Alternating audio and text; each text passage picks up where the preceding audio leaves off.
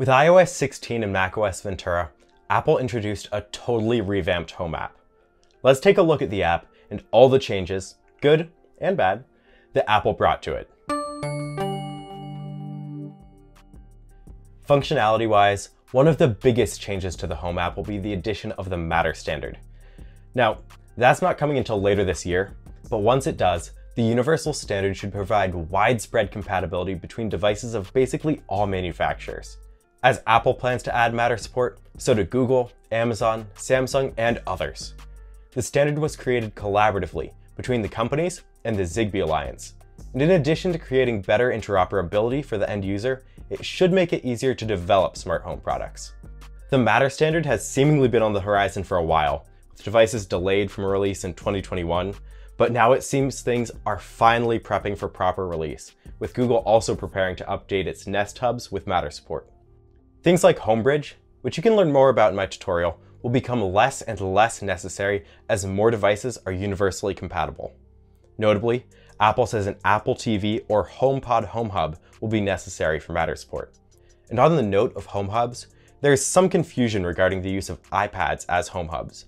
One of the new things coming to the Home app is a new architecture, and Apple says this will lead to faster and more reliable performance, especially in homes with many smart home devices. It seems like this new architecture coming to the app isn't going to support the use of iPads as hubs, instead requiring an Apple TV or HomePod. Previously, it seemed like iPads would lose support to act as home hubs entirely, but that may not be the case. Hopefully, as iOS 16 gets closer to an actual release, the full plan for the new architecture becomes clear.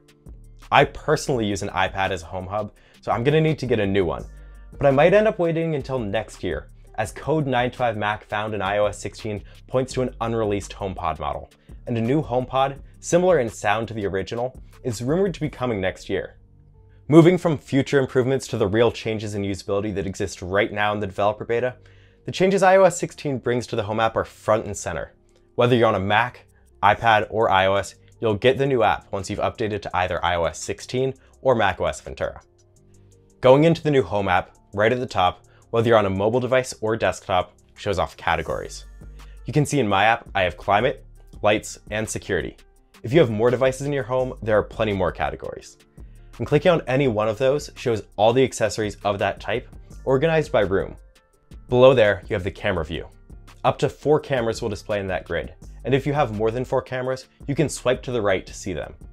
Right below my cameras, I have favorites. Below that, you can see each room of the house as you set it up listed, along with the accessories in that room.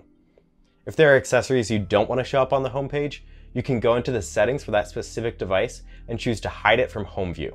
If you prefer the dedicated pages for each room, you can see these by clicking on the three dots in the upper right hand corner and then selecting whichever room, or by clicking on that room on the home page.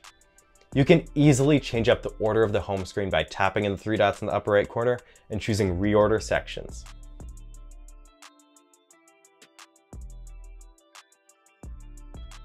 One annoyance with the new design is that when you're just trying to turn off or on a device, you have to specifically tap on the device's icon on the left-hand side of the button. Otherwise, it opens a full screen button where you can then go into the settings for that device. It's pretty easy to misclick and open the settings, but overall, it's a minor inconvenience. The new homepage makes it so much easier to scroll through and access your devices, whether you just have a few or you have a ton. Beyond the Home app, iOS 16 brings a ton of changes to the lock screen, one of those being widgets. The Home app is one of the native apps I really wanted to get lock screen widgets, and thankfully it did, but not quite how I wanted it to. These are mostly set just to give you information about your home, rather than offering control of your devices. With the current widgets, you can see your thermostat's temperature, information about which lights are on, show your security alerts, or show your home summary.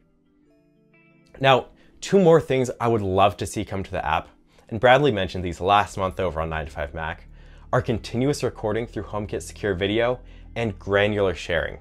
Currently, cameras can only record through HomeKit Secure Video when there's activity, rather than 24-7. Of course, 24-7 video doesn't make sense for all applications, but it would be a nice option.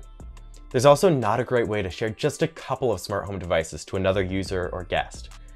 Whether that's only granting control for a few lights or limiting access to your thermostat, there are plenty of reasons you may want to share some home devices with others without sharing your whole home. What are your thoughts on this?